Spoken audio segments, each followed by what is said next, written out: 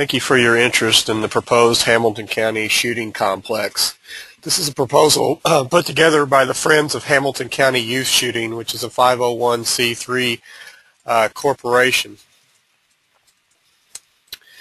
We established this uh, organization uh, back in August of 2010 as a result of the phenomenal um, um, interest in youth shooting programs throughout Hamilton County.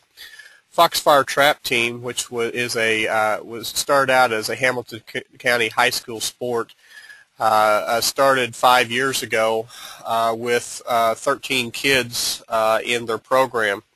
This last year we had over 50, 50 children and have expanded it also to the junior high program with hopes in the future of adding fifth and sixth graders. This exposure to athletic sports shooting has um, uh, has been uh, viral with uh, our children of, of the county.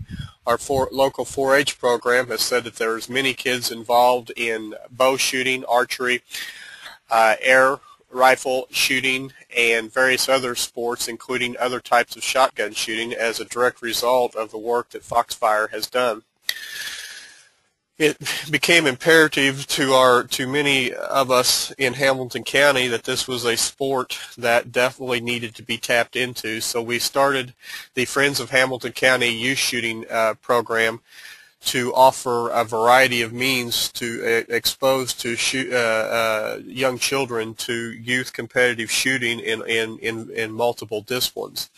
One of our main goals is to uh, form a formal uh, shooting complex within the county. Currently, the only place to sh uh, for shotgun competitive shooting is in Saline County, Jefferson County, and Wayne County on a limited basis, all uh, within with over 30 miles travel distance for most of our children. Our board of directors is set up as such. Uh, we are composed of local competitive shooters, local business people, people from our school, uh, people from our local law enforcement organizations, and of course business owners and entrepreneurs who would like to see uh, this as a uh, uh, uh the shooting complex to be developed as a as a potential tourism impact for the community. Going to kind of give you a drawing of what it looks like right now for shooting complexes throughout uh, and around uh, Hamilton County. We're proposing to first off to put in a 200 yard rifle range. There's not a 200 yard rifle range within 450 miles of Hamilton County. And as you can imagine, uh, shooting a rifle with in, in at 200 yard distances would, would be very uh, difficult at many places, even throughout the county, as flat as the county is, and, and not uh, places for backdrops and berms. Also proposing to put in a 50 yard pistol range that uh, are not only uh, local state police at District 19 but also our local police departments uh, in both Hamilton County and surrounding counties have said that they would like to have that to, to do their practice range on them so that they can have different visualizations and different um, opportunities to, to practice. Uh, archery is one of the, the fastest growing sports uh, in the nation right now, especially competitive shooting as, as well as hunting. We're proposing to put in a three-dimensional archery range with um, uh, stations that simulate um, not only a deer stand but blinds, blind shooting also to prepare people for the upcoming hunting seasons. Of course, we would like to add in four, four trap houses and one skeet range. Uh, these would be opened up for competitive shooting through the National Skeet Associations and the American Trap Associations to bring in competitive shooting to our county on a regular basis. And to uh, make this a completely family-oriented um, um, program and, and, and give experience to everybody, we're looking at putting in a, a nice clubhouse and a pavilion for shade and picnics that can be used outside of the, the shooting area. Currently, there are uh, only six ranges within 30 minutes from McLeansboro, and all of them are very limited. The uh, uh, range at 10 Mile Creek State and Fish Wildlife Area is the only shooting range act that actually it's currently resides within the county at this time. However, it's very restrictive. It has a 100-yard range and, and pistol range, and it's very restrictive on its use because it is a state-run property. The Carmile Rifle and Pistol Club in Crossville has a nice range. However, it's limited to 100, 100 uh, yards or less, and, and they specifically do target uh, pistol shooters more than anything. The Rend Lake Shooting Complex uh, near Benton, Illinois is um, uh, only open for trap and skeet and five-stand shooting. And this is currently where uh, many of the local high school and junior high teams uh, do practice for trap shooting, including uh, Hamilton County Foxfire. Outback Sporting Clays and Fairfield Gun Club uh, are both uh, areas that, that trap shooting and skeet can take place with limited pistol shooting but they have limited number of trap houses, in fact one at each that we can actually use. Then Goshen Trail Long Rifles is only a 100-yard uh, rifle range uh, in Jefferson County. At more of a distance, we have several ranges uh, uh available uh, to us with the most notable one being the World Shooting and Rec Complex in Sparta, Illinois. Uh, but this uh, uh, particular facility, though it's the world's largest facility of its kind, um, and is host to many uh, national, international, and state events uh, on a regular basis. It is over 90 minutes from us, uh, so that it would be a three-hour round trip to do any type of practice or competitive shooting. Very difficult for youth shooters. We're giving uh, this example of what a layout of a proposed range would be. We selected a sample location, uh, which is uh, former mine property, uh, which is southeast of, of McLeansboro, roughly uh, uh, four miles driving distance from the center of town. This is an overview of the land. As you can see, one thing that we look for uh, with development of a, uh, of a range is a considerable distance from uh, houses and, and to have places that the full range can be developed.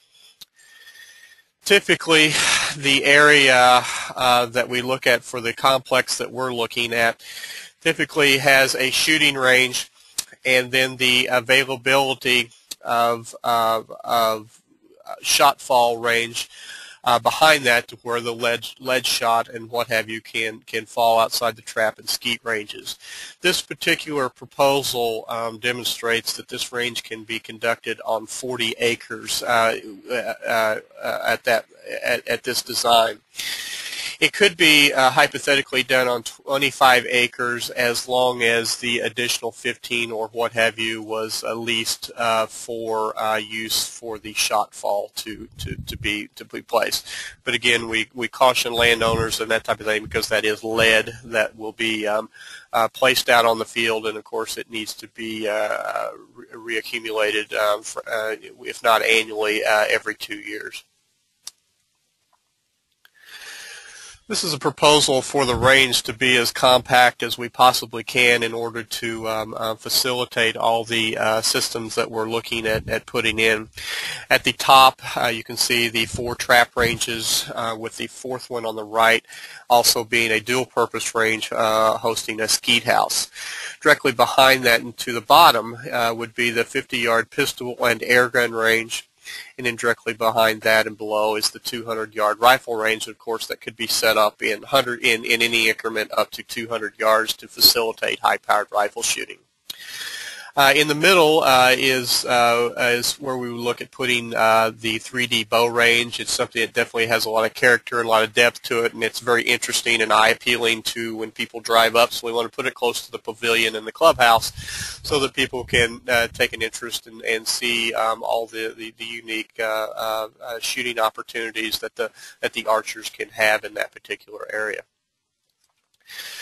This is a hypothetical that we look at. This is an open field uh, that, it, like, I said, is currently owned by uh, uh, mine, um, um, uh, reclaimed mine property, or, property that is going to be reclaimed mine property in, in Hamilton County. Uh, this particular um, site, you know, is, is definitely needs uh, to be um, upworked, and it could look very similar to this particular rendition over time as you can see, uh, it has ample parking, uh, uh, a clubhouse, and it's very appealing uh, to not only uh, shooters and users of the facility, but also to families to come and picnic and share in their family fun.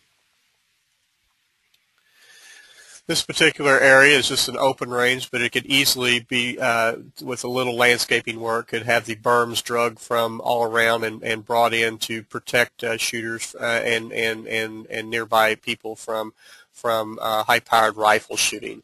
This particular berm is a design that's used in, in virtually all uh, 100 and 200 yard rifle ranges uh, throughout the nation. And of course, uh, the highlight of our uh, facility was would being able to host a, uh, a pavilion that overlooks our trap houses and gives the uh, shooter a, a, unique experience with proper lighting uh, uh, for nighttime shooting and evening shooting as well as early morning shooting also. it's ideal if the trap range faces to the north uh, because it would be able to be used uh, throughout the entire shooting year for and would not and it would be affected very minimally from the sun's um, uh, uh dusk to dawn. Our target market for this particular facility is, of course, use would be our, our, our number one uh, promotion of facilities, but it would definitely be open to the public and through memberships uh, uh, for adults and other shooting organizations. And, of course, community organizations can uh, use our facility too on a rental type basis. Our geographic target area that we'd be looking at is in the, the innermost circle is 30 minutes. We'd be looking for those areas to be our most uh, conducive to bringing in memberships and individual and family memberships uh, to participate uh, in the shooting complex.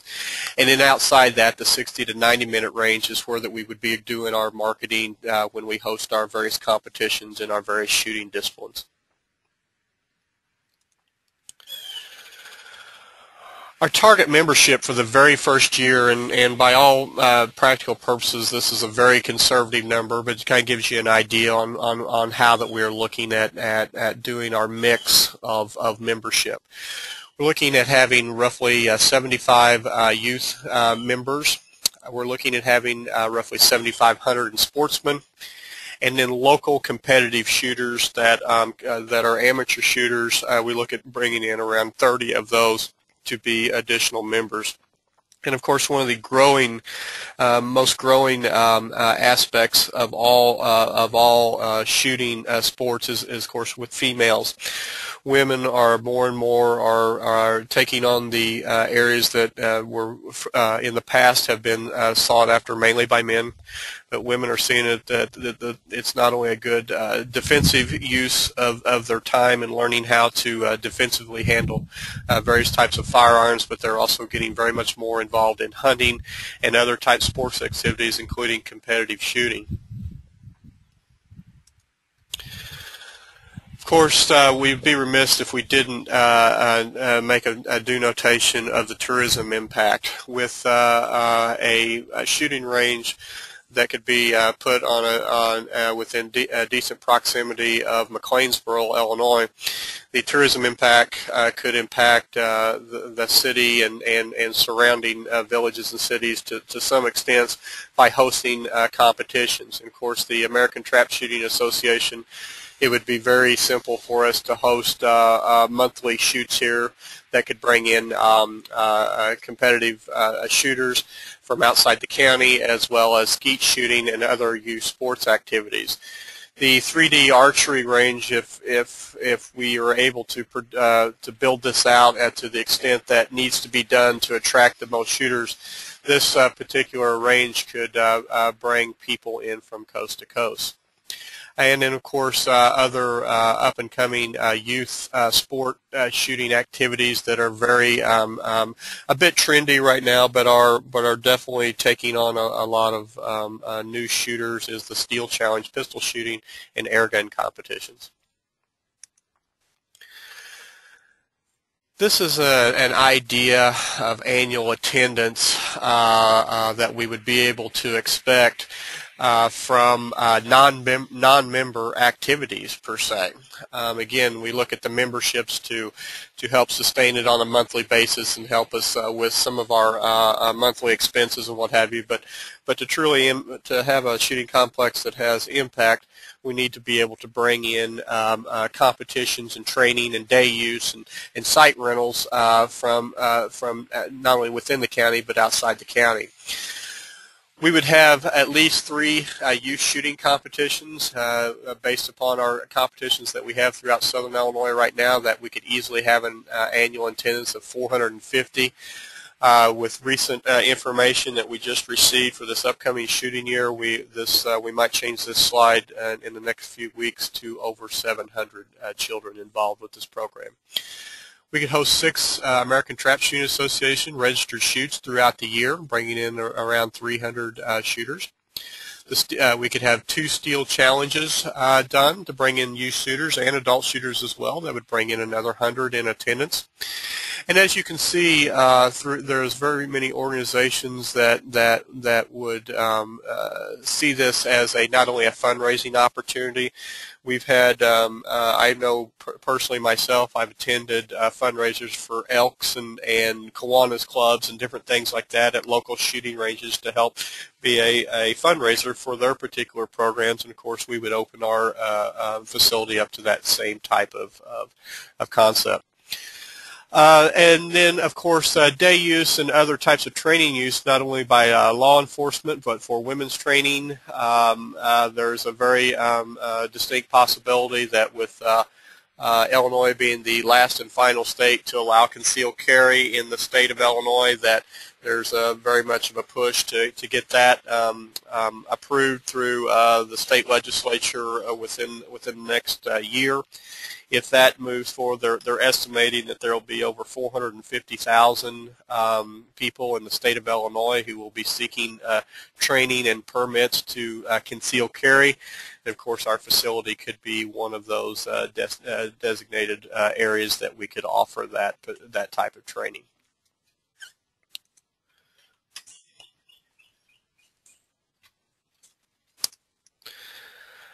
Now we'll look at the building and site plan uh, for capital cost to build out this particular venture.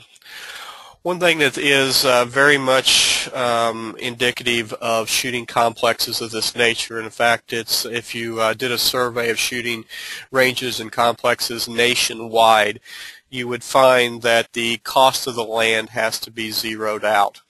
Uh, if there's any type of amortization uh, required or any type of leasing fee uh, involved for rental of land or property, typically a shooting complex does not cash flow. So keeping that in mind, we're looking at the facility as we proposed in this visualization. Uh, uh, we've had it uh, build out to approximately $167,500 of that um, particular amount of funds, uh, many local um, uh, entrepreneurs, uh, local farmers, and local people interested in seeing that this um, uh, shooting complex does uh, come to fruition have indicated that they would be willing to uh, contribute a significant amount of this to, to, to construction, both in cash and in-kind work. And then secondly, there are organizations that will help uh, with grant funding of this type of facility, none that will help with uh, acquisition of land, but several that will acquisition with purchase of equipment and building, uh, such as the National Rifle Association and the National uh, Sports Shooting Association are two that come to mind. We thank you for uh, your time with this presentation and, and hope that uh, you could um, uh, take considerations for helping us uh, uh, not only secure land uh, for this particular property as we feel that we can do the building out ourselves, but we're definitely looking for a, a, a, plot of land that would adequately suffice for, for, this, um, for this promotion, for this development.